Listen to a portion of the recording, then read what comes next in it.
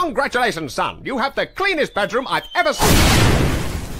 Wow, what a mess. No son of mine would have a room like this. You're dead to me. Harold, you better not be eating that cake! Harold, what did I just say? Goodbye, cruel world. Ah.